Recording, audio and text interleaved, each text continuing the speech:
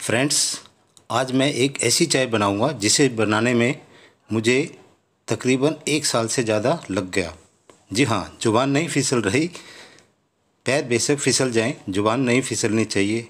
हाँ मुझे तुलसी और एलोवेरा को एक ही गमले में उगाने के लिए एक साल से ज़्यादा का वक्त लग गया, जिसकी मैं चाय बना रहा हूँ। तुलसी में एलोवेरा के वह सारे गुण आ गए जो होने चाहिए। बहुत ही चमत्कारी चाय। तो आइए शुरू करते हैं। ये मैंने कुछ सामान लिया है, जो डिस्क्रिप्शन में भी आपको आसानी से मिल जाएगा। अच्छी क्वालिटी की चाय की पत्ती, आइस क्यूब, यानी बर्फ़ के टुकड़े, तुलसी के ताज़ा पत्ते, एक लौंग, दो इलायची, काली मिर्च और मिश्री। फ्रेंड्स, चीनी के बजाय मिश्री का इस्तेमाल कर रहा हूँ। देखिए, बहुत ही प्यारी। आवाज़। तो पतीले में हम बर्फ़ डाल देंगे। उसके बाद इसको अच्छी तरह से दो से तीन उबाला आने तक, पानी की शेप में आने तक का इंतज़ार करेंगे। उसके बाद साधारण पानी यानी मिनरल वाटर इसमें हम डालेंगे और अच्छी तरह से इसको उबलने देंगे।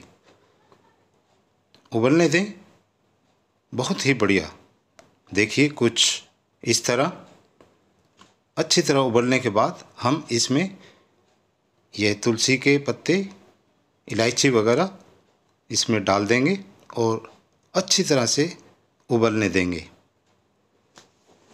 जितना आप उबालेंगे, उतना ही जो पत्तों का रस है, वह सब पानी में मिल जाएगा। चम्मच की सहायता से आप इसे अच्छी तरह मिलाएँ। बहुत ही बढ़िया, बहुत ही प्यारी खुशबू आ रही है। उसके बाद हम इसमें चाय की पत्ती डालेंगे। लगभग एक से डेढ़ मिनट तक फिर उबलने दें इसे। कितना प्यारा रंग। और महक का तो जवाब ही नहीं।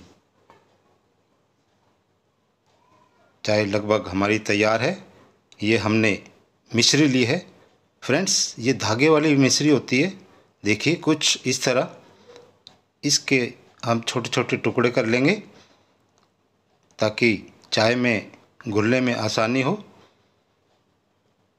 चाय का पानी हमारा तैयार है। बहुत ही चमत्कारी चाय। लाभदायक तो है ही। आप इसके एक सप्ताह में ही चमत्कार का अनुमान आसानी से लगा पाएँगे।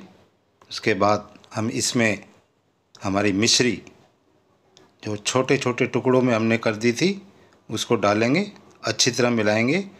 देखिए, पानी भी कुछ कम हो गया है, भाप के रूप में उड़ गया है और इतना होना ही चाहिए।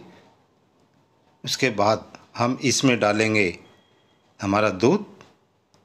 दूध पतला ना हो, जैसा प्राकृतिक अवस्था में होता है, वैसा ही हो। अच्छा उबाल आने दें। फिर इसे एक डेढ़ मिनट मिनट तक फिर उबालें। बहुत ही बढ़िया। और चाय हमारी तैयार है। देखिए, ज़्यादा समय भी नहीं लगा। उसके बाद हम इस चाय को किसी दूसरे बर्तन में, कप में या केटली हो, उसमें डाल लें। बहुत ही प्यारी खुशबू।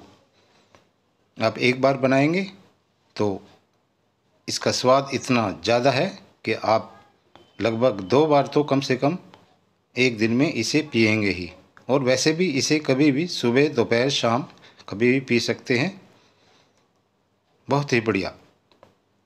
उसके बाद हम एक कप लेते हैं, उसमें इस चाय को डालेंगे।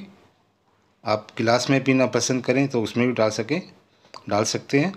और देखिए थोड़ा ऊपर करके डालें, झाग बनते हैं तो चाय देखने में बहुत सुहानी लगती है।